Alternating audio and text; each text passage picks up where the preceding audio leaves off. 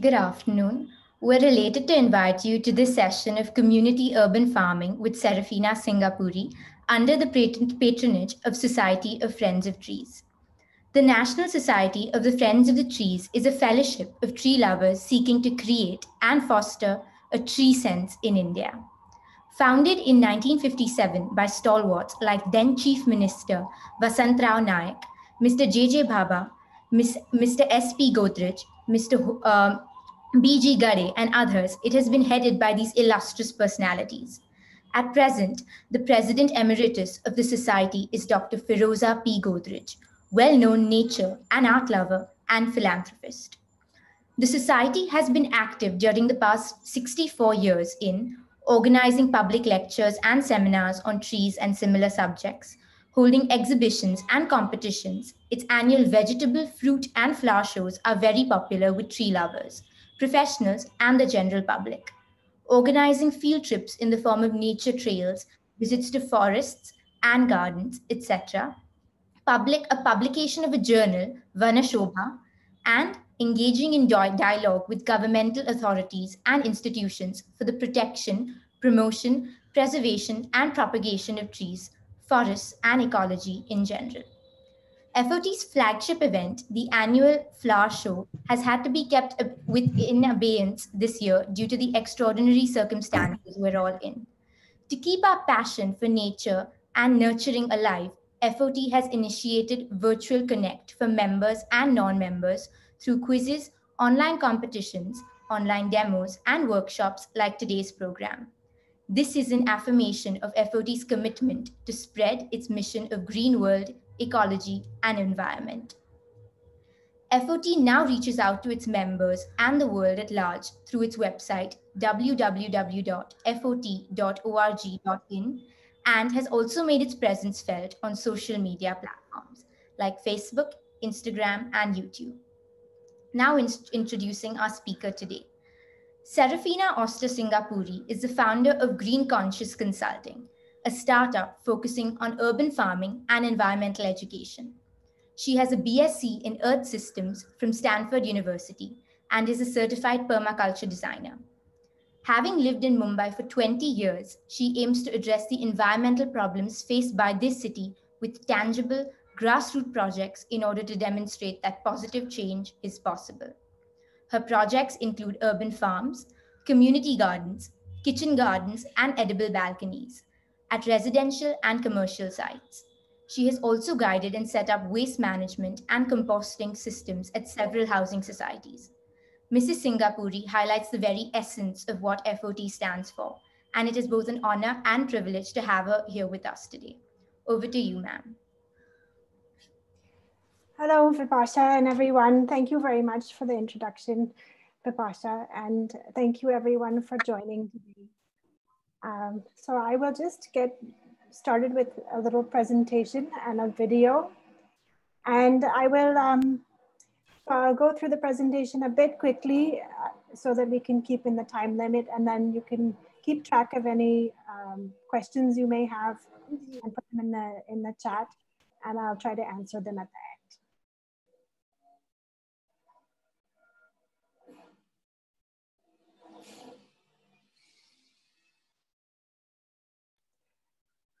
So can everyone see my screen? Um, Yes, ma'am. Okay, so the question I'll try to answer today is how can we create commun community gardens that enrich our lives and our urban environments? So as we all know that Mumbai um, is faced with quite a lot of pro urban problems that are typical of any big city. Uh, one, and this is a view from behind our building, right in our neighborhood where we live. And so there's a shortage of green space and tree cover, uh, which then leads to a loss of biodiversity.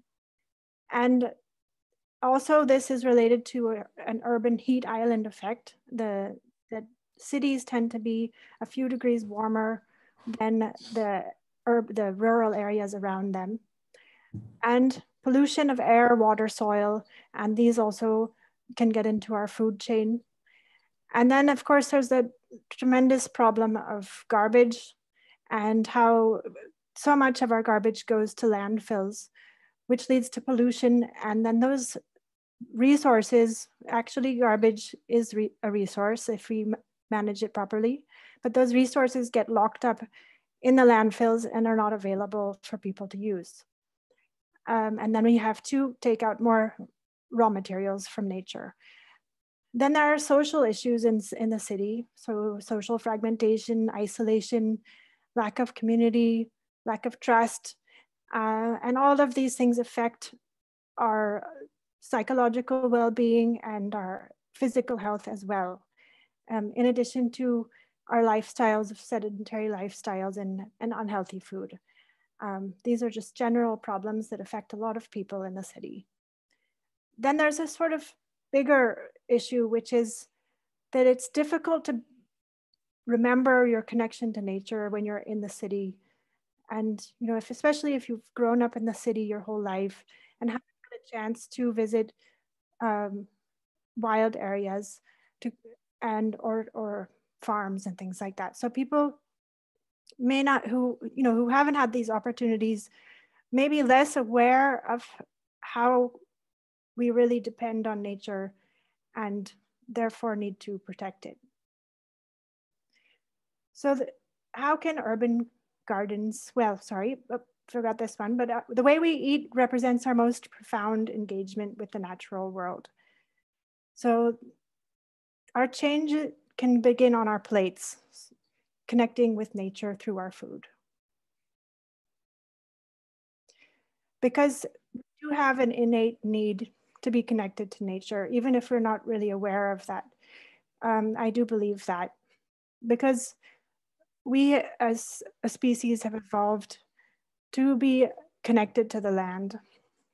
And there's this quote attributed to Mahatma Gandhi that to forget how to dig the earth and to tend the soil is to forget ourselves.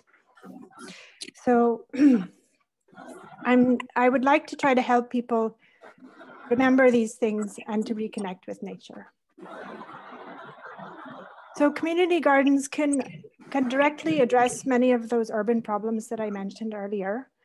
Uh, one is that they provide green spaces which are refuges for diverse living things, um, not just plants, but also insects, lizards, birds, and things that we may not think about regularly, but soil organisms, and a whole complex web of life that is needed. Um, and then another thing that urban gardens can do is absorb carbon dioxide and release oxygen. And plants uh, are quite good at purifying the air as well. So it affects your immediate environment, and it also affects your the if there are if there's an increase in the amount of green space and and terrace farms and things, it would have a, an effect on the environment of the whole city as well, to have a cooling effect to reduce that urban urban heat island effect. Then uh, you, we have an opportunity to turn what we call garbage into a valuable resource, which is compost. And this can close the loop. So you use that compost to grow vegetables. Um, and these vegetables, because you've grown them yourself, you know for a fact that they're chemical free and that they're fresh. And because they haven't been trucked in from far away, uh, they are have more flavor and more nutrients. And you can get things from your garden that you may not even find in the market.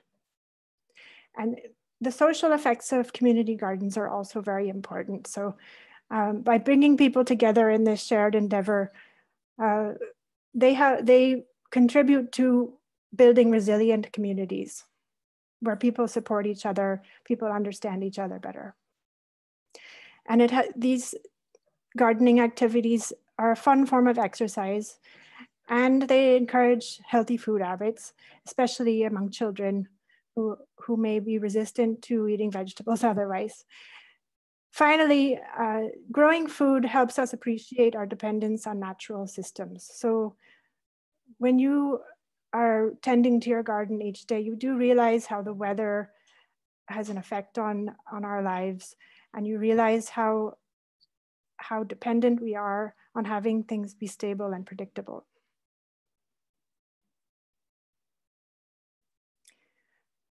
And I'm very happy that this movement of urban farming has been growing in Mumbai and in other cities in India and around the world for quite a few years. So, and I, I'm, um, I've started doing this seriously about three, four years ago. Before that, I did things a little bit just for my on my own on balconies and things like that. Um, but other people have been doing this for quite a while as well, or longer. Uh, for example, Urban Leaves, uh, they've had various community garden efforts. Currently, they have, I think, just one now at Bombay Port Trust. That was their first community garden, and it's still around. And then there's a very nice community food forest in Bandra called Dream Grove. There's a Pramila who, who runs, who is the mentor for that garden. She has a good and very good talk about it on YouTube. You might be able to find that. And then there are some other projects going on as well. There's a, at Fortune Heights in Mahim, there's a community garden there for the residential uh, society. And Earthaholics has lots of projects going on. And Green Souls, um, Julius has been doing this work for many, many years. And, and there are more, of course. So how do you get started making your own community garden? So I'll just share like some basic ideas from my experience. And of course, this is, everything needs to be adapted to your own um, conditions and your own situation, but I'll try to give some general guidance. So the first step would be to form a core team uh, of people who in your in your community who are interested in doing this, who can spend, who can commit some amount of time to it, and hopefully would have some knowledge of gardening or or be uh, very interested in learning. And then if there isn't anyone who's very experienced with gardening, um, it helps to find a mentor who can guide you through this and give you advice. Uh, then the second step would be to identify a garden location. The most important thing in that is how much sun it gets. Uh, other things can be modified and controlled to some degree, but the sun is the basic requirement. So you need a minimum of four to six hours of sunlight.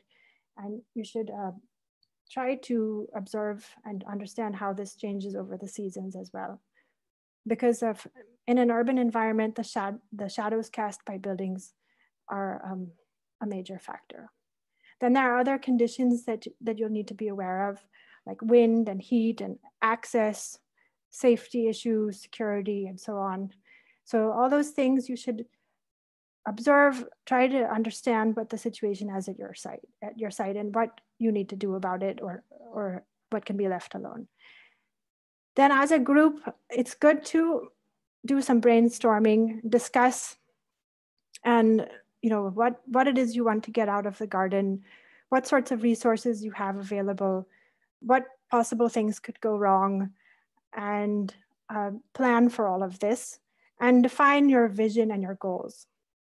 And based on those, you can make a plan for uh, your garden, but also, sorry, I forgot to mention, but um, it's not just a garden, it's also hand in hand, you need to, uh, it's very important to set up waste segregation and composting in your building if it's not already in place, because you'll need that compost in the garden.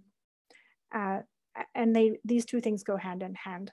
So when you and then you can make a well first sorry the uh, waste segregation and composting there are various organizations that can help you with that. And uh, um, one is RUR Green Life.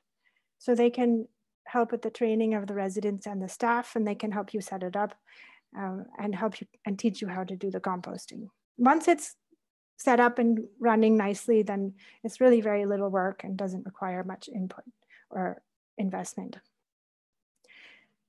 then you could make it, then uh, the next step would be to make a plan for your garden. So the layout, figure out what, materials you want to, to use, how much it will cost, and some plan for how you'll manage this. Then you would present the plans for approval and funding to the relevant decision makers. So if it's in a housing society, it would be, what we did was we presented it in the AGM and then the residents and managing committee voted on it. Um, or if it's say a community park like the Dream Grove in Bandra, then you would need to get the BMC involved and things like that. So depends on your situation. And also funding, maybe there would be different various sources of funding. Um, and you can do things very inexpensively, but yes, it does require some funds. Then you need a larger group of volunteers as well who will, who will pitch in whenever a lot of work needs to be got done in the garden. So I'm sure a lot of, most of you are aware of composting, but I'm just going to introduce the concept again, just very briefly, is that it's creating a loop where you uh, you have to first segregate your waste so that your biodegradable waste, which includes food waste and garden waste and leaves and so on, are available to make compost. And then of course you can grow food. I made this slide for, for kids presentation, but it works for everyone, I think. And, and composting is a natural process. It is nature's way of recycling nutrients um, because there is no garbage or waste in nature. Everything is recycled. There are various systems and containers that you can use for composting. These are ones that I would recommend depending on the scale of, of your composting, whether it's just for your own family, like these Khamba com composters from the Daily Dump in Bangalore are good. There's also Trust Bin, or you can get small tumblers from RUR. Then there are big tumblers that uh, from RUR and from DIRT and from other organizations that can be used for the Housing Society. And in our building, I chose to a very inexpensive, low maintenance, but a little bit more effort version, which is compost pits. So these are cement pits. And um, we had to modify the design a little bit over time so that we could ensure that they drained properly and stuff like that. But it's um, th this is a very good system as well. Just requires some manual mixing. Then Urban Leaves has a really has very detailed instructions of how to do it do it yourself composting bin from a, a large paint tin um, paint bucket um, on YouTube. So you could look that up. It's save a leaf solution two if you just Google that. And I wanted to mention this here because there's a lot of misunderstanding about it, but I strongly recommend, yeah, I, I do not recommend these organic waste converters or composting machines. They're very expensive. Um, they, a lot of resources go into manufacturing them and also in operating them, they require maintenance. And plus the compost or so-called compost that they make is generally not real compost. It's just sort of dried or burnt material. Um, and I've seen various um, organizations that have these sitting there, these machines sitting there waiting for some part and not being used. And be aware, of course, just we're all aware of this, but when you're gardening, if you can think of ways to reuse water in your garden, then you um, you know, you reduce the, the need for it. Uh, if you're just growing plants at home, there are very easy, simple things you can do, which basically involve a bucket uh, or two. And then for your building, you could install a gray water treatment system or rainwater harvesting, harvesting system. I won't get into the details of those in this presentation, but they're definitely worth um, reading about and investigating further. So the next step after you've gotten approval for your garden is to prepare the site. So if you if there are if there are already plants, think about what you would like to keep and what should be removed or shifted elsewhere. And while you're doing that, consider the various functions of the plants. So it's not just plants that are edible, medicinal, but also um, they could be there for shade or they ha could have served some purpose in maintaining the soil or for pollinators or something like that. So um, don't be in a rush to clear out all the plants that are already there. That's especially if you have a piece of land that you're working on at a ground level. Um, and then clear out any unneeded structures, objects, trash, etc. of course. And then if you're planting in the ground, take care not to damage the soil and the site through too much clearing or tilling or compaction through driving on it, walking on it. And consider, in an, especially in an urban environment, consider testing the soil for contaminants um, because depending on the history of the site, because some certain urban sites could have some dangerous chemicals in them. And then you wouldn't be able to grow in the ground. You would have to think of raised beds and other things. So if you're making a terrace garden, make sure there aren't any leakage or drainage problems and fix them if there are. And then you would need a water source. There are, you could, in our garden, we water with a hose pipe and a soft spray nozzle. I feel that that's a simple and easy way to do this. And you can um, you know, adjust your watering from day to day uh, just by checking the soil. And um, otherwise, there are drip irrigation and other systems which are very good about being efficient with water use. But I haven't yet um, really uh, been successful at using those. I, but anyway, they are good options if, if you are if you set them up properly. Then you'll need a place to store your materials and your tools. This is a view from above from of our Zara community garden. This was when we had planted some of it and we're still setting up another part. And it doesn't really look like much from up here, but then when you enter it down below, you'll see in the tour that it's quite a different uh, view, a nice refuge from the city. So the next step would be to set up your garden. And so there are various various options. This comes in the design phase also, of course, is like what type of containers or raised beds will you be using? And then, uh, but when you're designing and setting up, do consider the embodied energy of your materials and your designs. So where, what materials went into making those? How how were they made? How far away were they transported from and so on. So you think about the whole life cycle of the material and try to choose ones that have the least impact. Uh, upcycling and repurposing waste materials is a great way to reduce costs and the environmental impact. And sometimes you have to get a little creative with that. Then we put a bamboo or a metal frame over the garden and this serves various functions. So it, it helps for trellising the plants and you can put a bird net on it if you have a bird, uh, you know, if the birds are disturbing your garden too much. Um, a shade net if necessary in the very hot seasons.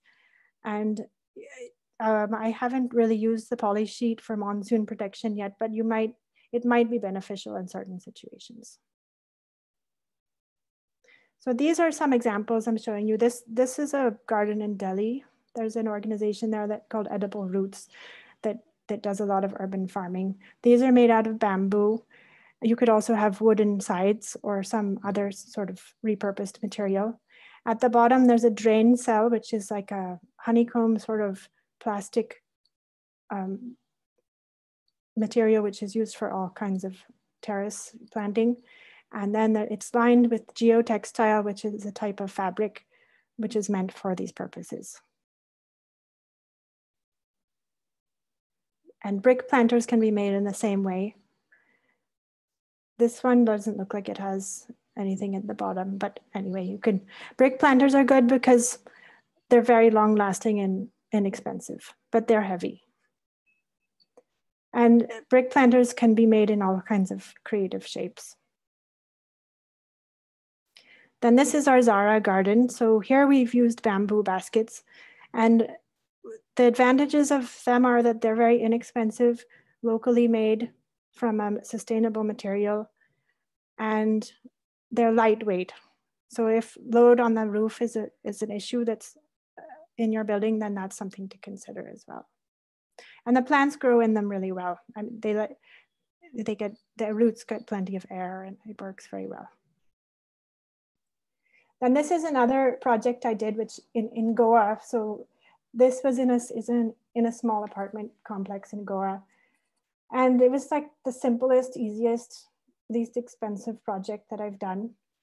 It just took a few days to set up and we used materials that were on the site or in the neighborhood. Uh, so we lay out the, we figured out where the sun would be most of the day and we lay out the planters, uh, just made a simple outline and measured. And then we used rocks from the site and put cardboard down because we were just putting it directly onto the grass. We didn't want the grass to come through. So we, we put a layer of cardboard down and then we put all kinds of materials, biodegradable materials that were lying around like palm fronds and coconuts and leaves. We made a nice thick layer of that at the bottom. And then we filled with soil and we got some cow dung from a neighboring dairy. And then we planted and put some straw mulch. And then I was like quite happy with how well it grew. Just in one, in about one month, this is what, what the result was. Yeah, and that, this garden was, we spent about 6,000 rupees total on the setup, which was mostly for the laborers. So after you've set up your garden, um, and then you fill the containers with soil, um, which approximately uh, equal parts of soil or lal matti, compost and wetted coco peat works well in my experience. Of course, there are many other mixes that people use and other things you could add, but just to keep it simple, and this, this does work nicely. And then uh, it helps to understand your garden, the microclimates of your garden. So there could be some areas which are a little shadier than others, some that are hotter, some that get more wind, stuff like that. And then you choose plants um, that will grow best in, in this, in the season and also this climate, but also the microclimates, and you place them accordingly. And if you can choose open pollinated local varieties, then you won't have to buy seeds again. You can just um, harvest them. And I'll talk a little bit about that in my, um, in, in my garden tour video. And when you're choosing your plants, again, consider the various functions of them and how they fit with your goals and needs. And after planting, mulch well with straw, dry leaves, or sugarcane bagasse.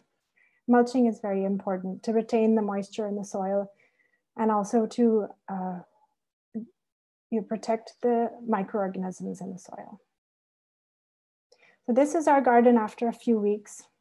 This was in, we had planted it in October 2018, and then this was in like December, or, or November, I think. So after you've planted your garden, you'll need to do the ongoing management of it. So your core group would be coordinating the activities and, and figuring out what work needs to be done and, and um, with a mentor advising if, if there's no one already in the core group with the knowledge. And then the, the larger group of volunteers could be called for weekly work or bi-weekly work. Someone needs to water the garden every day and and then there's a lot of little puttering and checking things, seeing if some pest problem is there or you know, what sort of work needs to be done. So that daily watering and puttering can be shared. In our case, we share it in the core group. And then we have a weekly harvest where people where the residents come and pick everything that's ready. And then we lay it out for a free farmers market where the residents come and take uh, whatever they want. And then after the monsoons, there's usually a little extra work that needs to be done, especially if you need to replace the baskets um, or you know fill in more soil and stuff like that. So you might need to hire some laborers for the heavy lifting. And you can keep your running costs very low because if you make your own compost and you save seeds, you really have no costs. Maybe you need some tools now and then or gardening gloves and that's about it. Or there are some organic inputs that you could buy, basic ones, but they're not, they are, you know, you can keep those costs very low.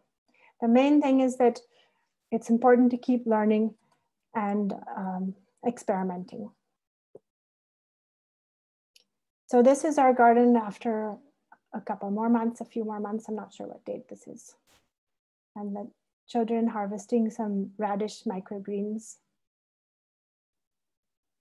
And in the beginning of the presentation, I was talking about biodiversity and gardens really do provide a, it's just amazing how such a diverse collection of creatures somehow appear in the garden from somewhere and then they thrive there. So we have lots of different insects and spiders, for example, and uh, many of them are beneficial insects. Some of them are pests like this inchworm, but then the beneficial insects and the pests tend to reach some kind of balance. And we, we don't, we really do very little pest control management because we try to let the things sort themselves out. Like these are ladybug, I think pupae you call them, actually different stages of ladybug. And I didn't know what they were when I first saw them, but then I realized, yes, I should just leave them alone. This is a praying mantis hunting an aphid. And I don't know what this insect is, but it's like brilliant, golden, shiny. It's interesting. And then there are lots of earthworms in our garden. And of course, many other things in the soil that we can't see. And this is a sunbird that came to visit our garden once. If you can see it here, it's drinking the nectar from the flowers. So. Oops, let me get to the next slide. I'm just, here are some, just a few pictures from our garden and our free farmers market with our small helpers. And now I'll show you some videos. Uh, can you see this? Um, oops, I'm sorry, one second.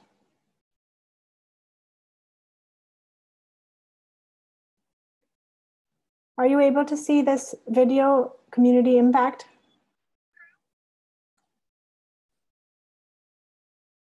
Um, Vipasha? There's just free farmers market on. Ah, I need to share a different window. That's what I was wondering. Okay. No worries, take your time.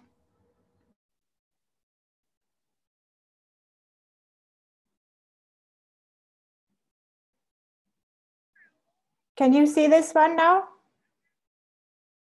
Uh, yeah, you'll have to share your audio. We can't hear. Uh, how to do that?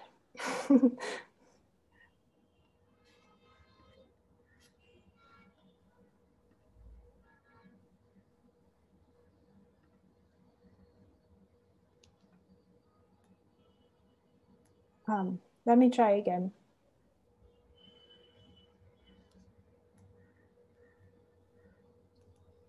Ma'am, while you are share, while you just select the option of share screen at the bottom, the option will come of share sound also.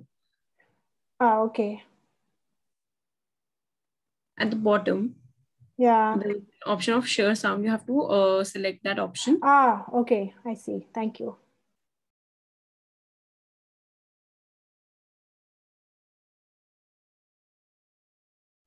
Oh no. Um, I think I have to install something. Uh, okay, wait a minute, one second. Hmm.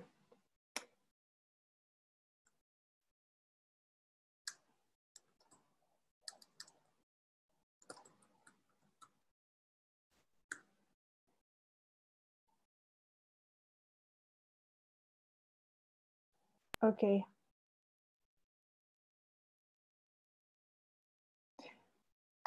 Can you hear it now? What is your favorite part about Piku yes, Garden? It is That I learn how to grow trees and I learn the name of plants. Like what are the new plant names you've learned? I've learned thyme. Thyme, so the herbs. Yeah. And what is currently growing in your garden? We are now growing pomegranates and hibiscuses and mint trees. And do you like stuff like planting or harvesting? What's your favorite part? The favorite part that I love is when I um, plant seedlings. Why do you like that so much? Because when we used to do it, I got to poke my finger in the soil, which was cool. when we're down in the garden harvesting together, it's not like we're sitting around and chatting, but there's such a strong sense of community that is deeply fulfilling. That's one of the things that I really enjoy about uh, our kitchen garden. When we're harvesting um, the you know incredible variety of uh, herbs and greens that Serafina is always experimenting with, uh, I get so many lovely, fresh, healthy food ideas. I mean, my family always says that the garden is really the source of innovation in my kitchen. I just love that aspect of our garden. One of the best things about living in our building Zara is that we are the beneficiaries of a revolution that has been started in our building by Serafina. A revolution is not an exaggeration, it is a revolution in our city to have in our building these plants growing and giving us good health because that's what we are really eating good health. It's planted, it grows, it blossoms, and we partake of the goodness of this garden. It's a lot of hard work for Serafina, but it's really worth the trouble. It's good for children, it's good for teenagers, it would be perfect for old people like me. It's therapeutic. And if the community of each building gets involved and starts something like this on their terraces, it would be one of the best things that could happen in this city.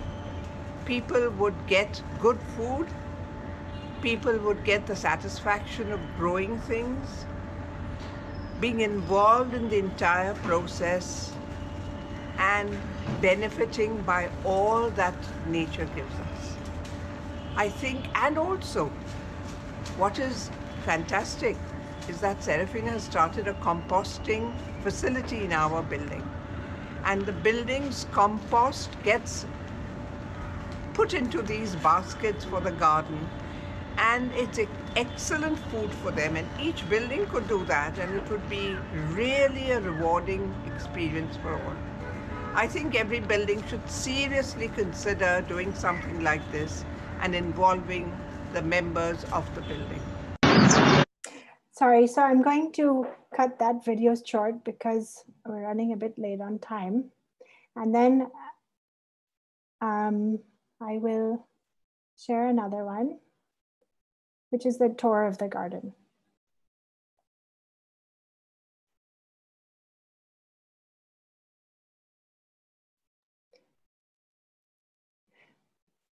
Can you guys hear me still?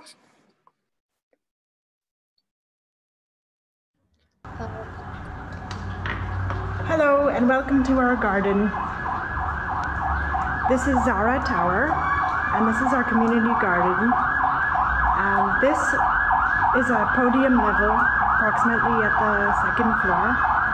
And it was designed to be a parking area, but as it wasn't being used for that, we decided to make our community garden here. So there is this outside area, which is about a thousand square feet. And then there is also an inside area, which doesn't get any sunlight. So this area we use for storing our materials and also we're making a mural here. The children are painting it. Uh, and so we also sit here and, you know, do some of our work. So I'll quickly give you a tour. And this, right now it's covered with plastic because some work is going on in the building and we need to uh, prevent the paint and other debris from falling on the plants. But normally it doesn't have plastic over it. There's just this bamboo frame with a bird net uh, normally. So we have, we've installed water taps with pipes, two of them to make things easy for watering the garden. And the, the surface is unfinished, but it's properly waterproofed, which, which we had uh, checked before setting up the garden. Also, the drainage is, is proper, which we that's another thing that we had checked. So we have a mixture of pots and baskets. Norm the perennials and some plants, you know, like the fruit trees, we grow those in pots because the baskets uh, they need to be replaced periodically once every one or two years because they do uh, start breaking at the bottom eventually.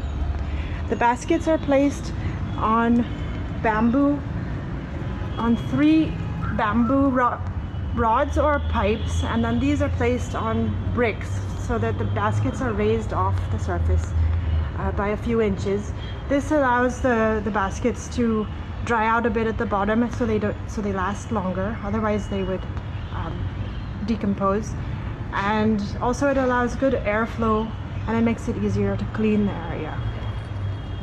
And for people who are concerned about uh, leakage issues or roots growing into the surface this also prevents that uh, it creates a nice barrier. Otherwise you, you could have a planter with a drain cell at the bottom which serves the same purpose.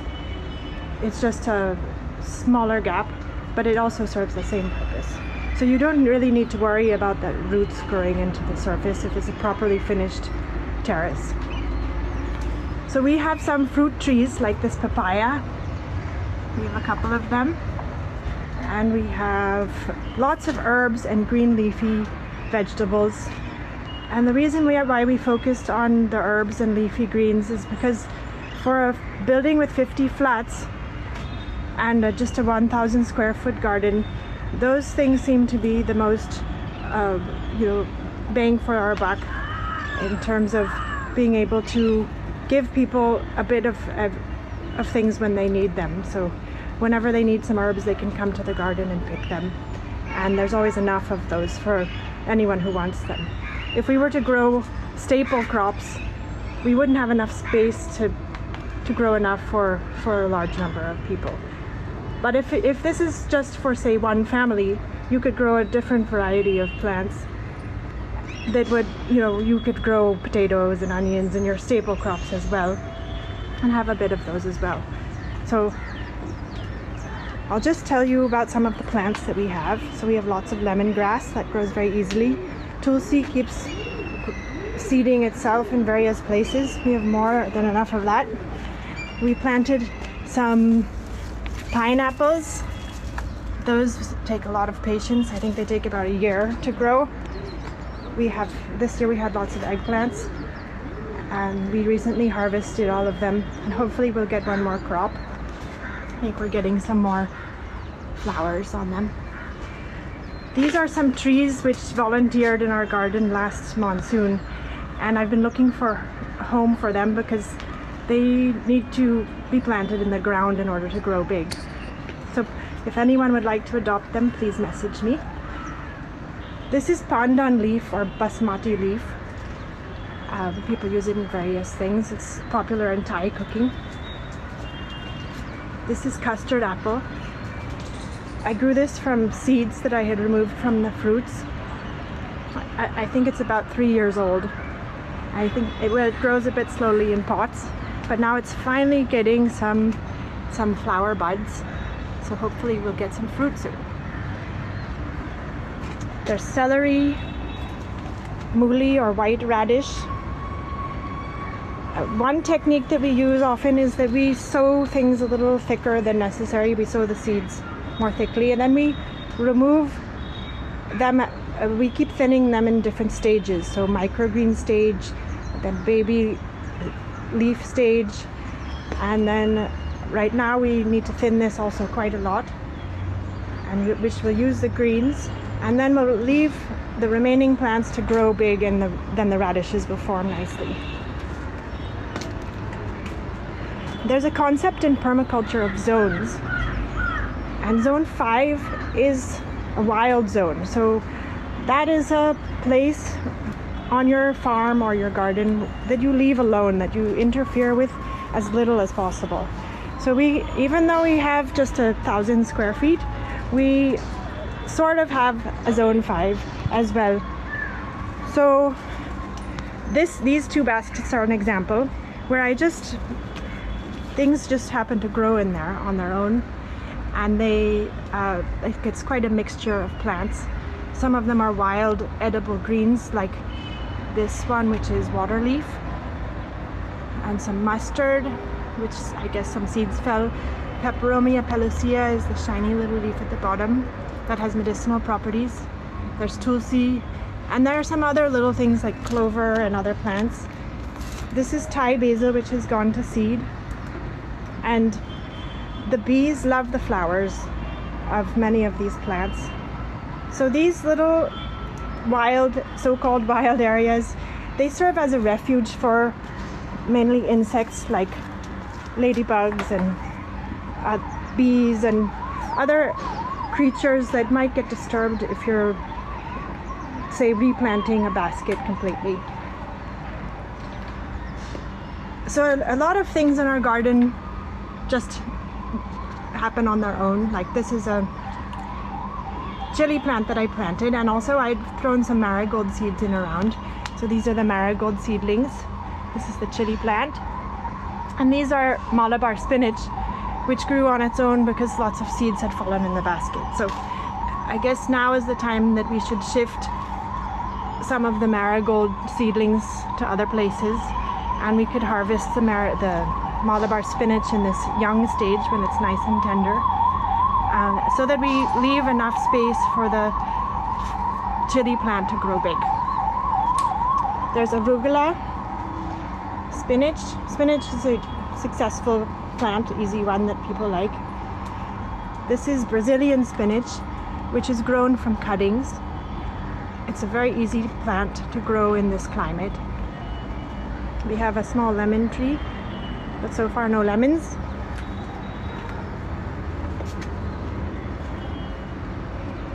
There are young tomato plants. This is garlic chives. Someone had given me a clump of them uh, a couple of years ago and then they just keep multiplying. I'm happy to share these with people if they want. This is arbi, where you use the leaves and the roots, or taro it's called. This is ivy gourd, or tindley is the local name for it. And it's a little messy, needs to be cleaned up but and, and trimmed. But it's a nice uh, creeper that's quite productive. And this you grow from cuttings. It's also a perennial. We have methi, and this is a Thai chili plant that's still nice and productive after two years. We grew these sambar onions from onions that we bought in the market. This is butterfly pea or blue pea flower. It's used for coloring drinks or making blue rice and other things. This is ginger and turmeric. And if you see, we've thrown the, the dry leaves in the basket at the base of the plant. This is uh, helpful generally with any kind of leaves, as long as they're not diseased, is to keep them as a mulch on the ground and, and these nutrients from these leaves then get recycled into the soil through composting, a slow process of composting, sort of like a forest floor process. So leaves are a very, very valuable resource and you definitely should not waste them or burn them. This is lettuce, which is starting to get a bit overgrown. There's tarragon mixed with tulsi, which grew on its own. There's flat leaf parsley. This is a pomegranate bush. We recently harvested most of the pomegranates, but we're getting some new buds and flowers. That one also grew from a seed. Mint, thyme, and some a flower which I forget the name of. It's also it has medicinal properties and edible. Stevia, which is an alternate sweetener. There's Genovese basil. This grows nicely, and we a lot of the plants go to seed. So this this stalk is ready to be harvested and kept, and that you know the seeds can be saved from this.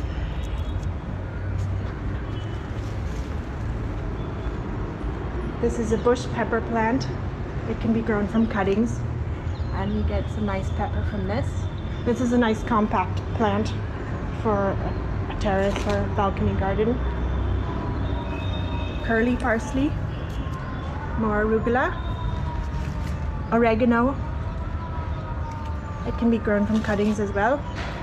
And this chili plant uh, is the only chili plant that I grew in, the, sorry, we grew in the last season which survived the leaf curl virus. All the others got badly affected by it.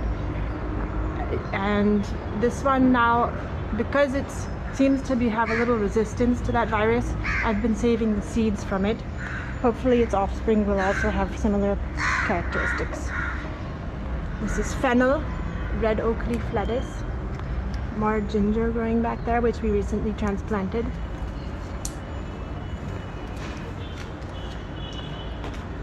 There's coriander, lemon basil,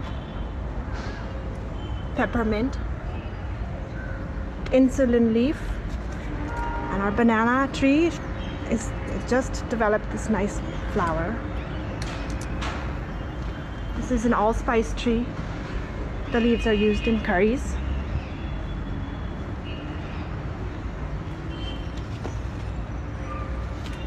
So here's another example of a plant going to seed.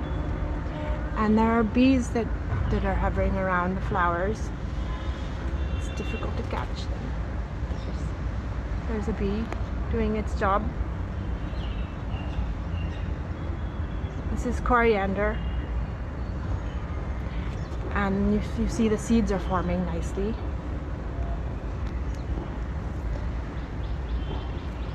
This is a star fruit. This was grown from seed as well. It takes a while to to become productive, but here we have we have a nice fat fruit for, fat fruit forming tongue twister. And here's rosemary. That one's a bit finicky in this climate. Some more coriander. red amaranth. Again, we sowed this rather thickly so that we could harvest the, the microgreens, which are of this size, and the baby leaves, which are like this size. And once you clear out the extra plants, then the other ones grow to be big, and you can cut and harvest them a couple of times. This is morning glory which is very nice in stir fries and it grows really well during the monsoon monsoon season. This is a little chiku tree and finally after about a year and a half we're getting well we bought it as a seedling from the nursery. It's a grafted seedling. You can see the graft here. And this one is a chiku forming and some more flowers These are cucumber plants. Uh, so it's, it's useful to grow gourds in the hot season. So they'll climb up these strings which we have tied to the frame above. And if there's no plastic covering this, which we'll remove soon, then they'll grow over the net and create a little bit of filtered shade for the plants below, which is helpful during the hot season. It makes it so you don't need a shade net. We also mulch with sugarcane bagasse, which you just get from the juice vendors. So this is a very useful uh, local free resource. This is a guava tree and here's a nice guava forming. This is, I think you say Brahmi. It's an Ayurvedic medi uh, medicinal plant. This is red romaine lettuce, which is going to seed. It's in the dandelion family. You can see the seeds with their little parachutes.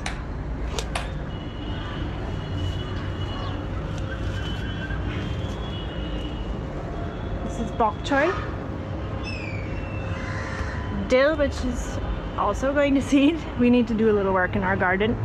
And water leaf, the young plants. These are very nice vegetables, very nutritious wild vegetables. We have some cherry tomatoes. This is a Tejpata bay leaf. It has such pretty new growth. We have various edible flowers or medicinal flowers, which are nice to add color to the garden and attract pollinators. Here's some more tomatoes. This year we didn't have that much luck with tomatoes, but last year we had lots. And there are more pomegranate plants. This is our nursery area, which is protected from the direct sun. So we grow things in seedling trays and also in small uh, containers that we've uh, reused, like yogurt containers, milk cartons, things like that, uh, or paper cups or anything that's around that that you can that's the correct size. So some plants like to have the larger containers. So these are cartons, which have grown from seed, and these are chilies, and then yeah. So they're different sizes of seedling trays. So the little ones are used for the leafy greens, the big ones for tomatoes and things and chilies, and the yogurt containers would be for other plants that need it more space. This is pond leaf. It likes to grow in the shade. So does aloe vera. Sorry about the noises in the background. And ajwain. Then we have some more rosemary plants growing here, trying to protect them so they don't get overwatered. Oh, sorry about the noise. Anyway, I hope you guys enjoyed this tour of our garden. And if you ever want to visit and see it in person, then you are very welcome and just send me a message. Hi. Oh no, one second, let me stop this. Hi everyone. Yeah, can you guys hear me? Uh, yes. So that's the end of my presentation. And uh, does anyone have any questions? Um, so one of the questions that was asked was, um, I'm gonna pick out a um, few of them. Uh, what do you think is the best material we can use as beginners for building the garden, as you were mentioning bamboo, etc.? What would be the best material? Well, I think the easiest things, it just sort of depends on uh, where you're building the garden and how big and so on. But um, yeah, any of the materials that I mentioned would be good. Uh, if you're just doing something, say on your windowsill or balcony, probably pots are the easiest uh, option. And you could uh, use other containers, any kind of large container and reuse that. That would also work. You just need to make sure there's some drainage holes in the bottom of it. Um, okay. And that, the sorry, the the bamboo baskets. There's a guy um, in Parel who makes them. If you wanted to, if you need the contact for that, I could give it. So um, the next question is, um, I think at the end you could maybe link in your contact details as well as this number. Some people have asked that on private, so you could Mhm. put it in the chat box. Um, how does different weather in different places where you've worked affect the way you build a community garden? So I've only worked here in Mumbai on the community garden stuff. Uh, when I was younger, though, when I was a kid, I, I lived in Colorado. And so, yeah, that's very different with the seasons. And, and yeah, I was always helping out in the family garden there. And yeah, the challenges in Mumbai are heat and during the monsoons, the heavy downpours and the wind. So those are things that you need to plan for and and sometimes though like if if the monsoons are really difficult to manage then you just take a break from gardening in that time and then start again after the monsoons but last year we did manage to grow things throughout the year uh, what i learned was that if you have plants started in may and they've gotten a bit strong then then some of them do survive or even thrive during the monsoon without any kind of extra protection. Okay. I hope Um, that answered the question. Yeah, yeah. Um, so the next question was, uh, what would be the five best fruits or vegetables to grow in a very limited space as we do in Bombay? So if you have just a little bit of space and want to grow something for your family, I do think like herbs and chilies are, are useful things because you use just small quantities of them, but they make a big difference in your cooking to have fresh herbs and a variety of them available. And then uh, the other things would be, yeah, and in herbs that includes say curry leaf and mint and lemongrass and basil grows easily here, uh, various types of basil. And then the Mediterranean herbs like rosemary, oregano, thyme, they do grow here. Once you once they get started, they're okay. And I have, but I've had a hard time growing them from seed. So I could help you guys out with that. Or, uh, and then the yeah, then there are a bunch of other herbs that are used in Indian cooking, which are useful. And then other fun things are cherry tomatoes, but they tend to take up space. They climb all around. And yeah, so certain plants require very large containers like tomatoes or gourds. They should be in a container that's preferably about 12 inches across. And then but herbs can be in smaller pots, like nine inch diameter pots, or even six, depending on which ones. Um, so um, one another question was, what is the process of transplanting a plant, as you mentioned? So if you've grown something in a seedling tray or in a yogurt container or something like that, you just you need to first prepare the the plant the pot where you're going to shift it to. Um, you know, add compost to the soil, loosen the soil, and you dig a little hole and then you very gently like turn the the plant over from the seedling tray. You try to take it out, take it out of the container without damaging its roots, and then you place it into the hole you've made and and like fill in the hole, press it a little, and then you put mulch around and water it immediately because the roots have been disturbed, so so they need to recover. And it's best to do that in the evening, to, to do transplanting in the evening so they have the night to recover. Um, okay, right. And I think the last question we'll be taking was um, what is the cost like for building, say, a community garden as the one you showed in the video? In the previous video. So that one shared by all the members, or is it?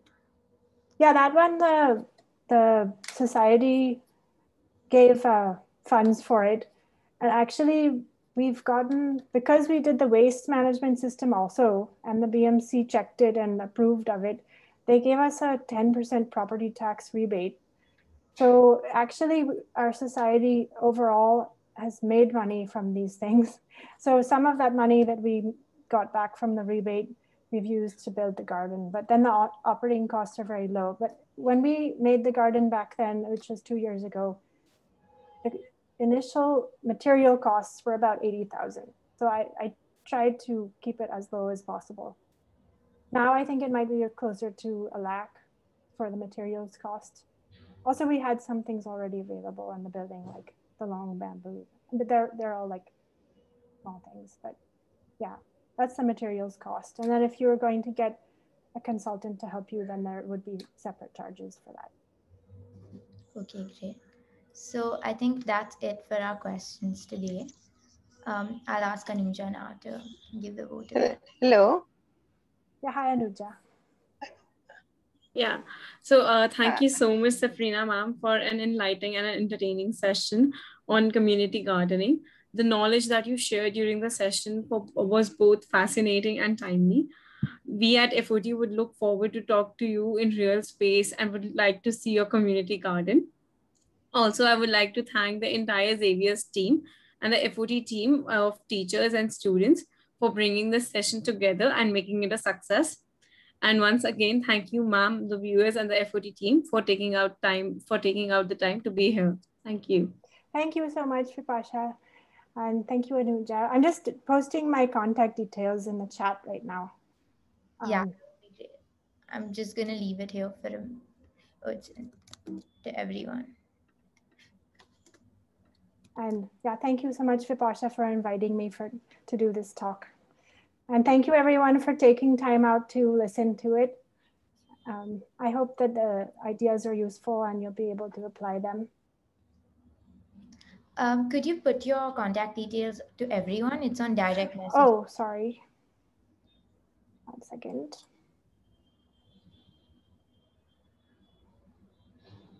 Yeah, I'm learning. Seems can't really copy paste.